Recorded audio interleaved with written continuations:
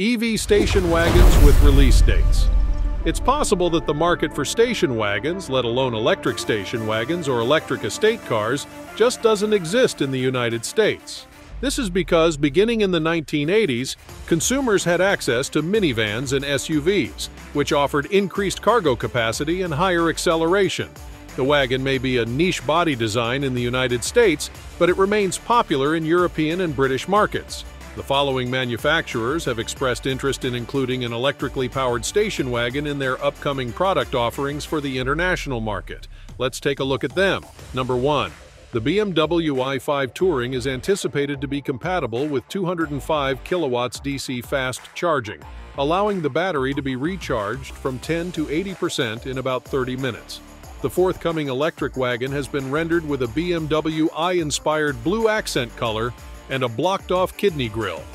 At the 2023 BMW Group Annual Conference, the automaker confirmed that the all-electric 5 Series station wagon would debut in the spring of the following year.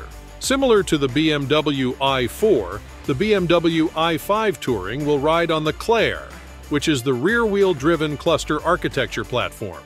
Reportedly, it will be offered in two different xDrive trim levels, the xDrive 40 with 335 horsepower and 295 pound-feet of torque and the M60 xDrive with 590 horsepower and 586 pound-feet of torque.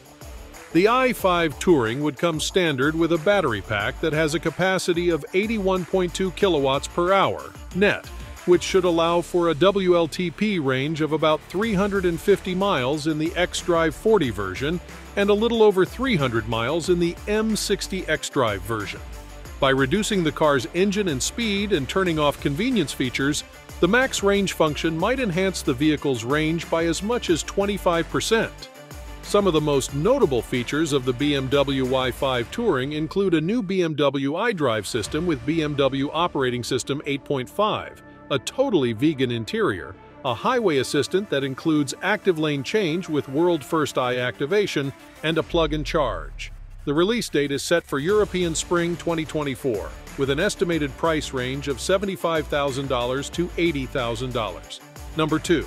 There aren't many electric station wagons on the market, but the MG5 EV is one of them.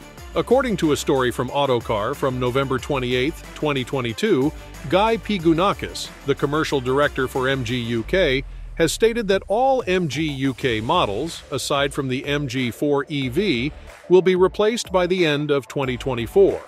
It was said that the next generation of MG electric vehicles, such as the MG5 EV, would use the same modular, scalable platform as the MG4 EV. The next generation MG5 EV will take styling cues from the MG4, as reported by Auto Express, a British journal, on May 22, 2023.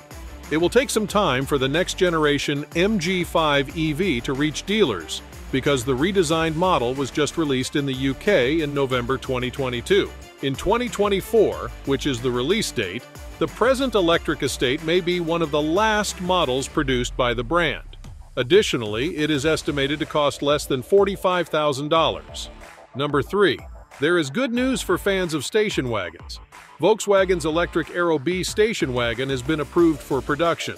The Volkswagen Passat Alltrack and Passat sedan will progressively give way to the Aero B shooting brake and VW ID.7 as EV adoption picks up in various areas. There will be a rear-wheel drive, RWD model, an all-wheel drive, AWD model, and a high-performance GTX model. After ending manufacture of the gas-powered Passat in December 2021, local operations in the United States intend to phase down sales of the electric sedan. The VW ID Aero Idea is a low-drag vehicle that measures almost 5 meters and is almost 16 feet in length. In order to claim a WLTP range of up to 620 kilometers, 385 miles, Volkswagen equipped the electric car concept with a 77 kilowatts per hour lithium-ion battery pack. The ID Aero is a close-to-production concept according to the automaker, so its production iteration and wagon spin-off should share identical technical specs. The ID7 estate will be released by Volkswagen in Europe in the spring of 2024 at an estimated price of $40,000 and up. Number 4. Audi debuted the A6 e-tron concept at the 2021 Shanghai Auto Show, and in March 2022, the Avant station wagon model debuted as a concept. The closed single-frame grille, elegant digital matrix LED headlights, and backlit Audi emblem up front are all similar to the Sportback and showcase Audi's skill in lighting technology. Digital OLED parts in the backlights allow for unlimited design flexibility. The PPE platform, on which the Audi A6 Avant e-tron is based, is a major departure from the MEB platform, which it replaces. The A6 Avant e-tron's 100 kilowatts per hour battery is amazing, and it can be fully charged in just 10 minutes using the PPE platform, which enables architecture up to 800 volts. This results in an increased range of 186 miles. The battery can be charged from 5% to 80% in just 25 minutes. It has an estimated 435-mile range. Acceleration from 0 to 62 miles per hour will occur in under 7 seconds. With a release date of 2024, it is estimated to cost $75,000 and above. Number 5. As Europe's first all-electric station wagon, the Peugeot E308SW sets a new standard. It has a single motor that generates 260 newton-meters of torque and 115 kilowatts per hour of power. The Peugeot E308SW was clearly not designed for quick acceleration or high speeds. The efficiency of the E308SW, however, is where it truly shines and is what will ultimately win over its target audience. A 51 kilowatt per hour lithium-ion NMC battery pack is what powers the electrical drive. The WLTP estimated range is over 400 kilometers at 400 volts of operation.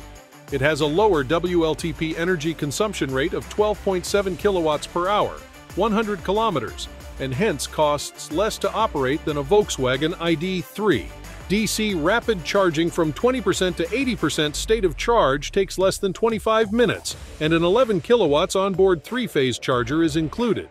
Midway through 2023, Peugeot expects to introduce the Allure and GT versions of their electric station wagon throughout Europe at an estimated cost of $66,990. Number 6.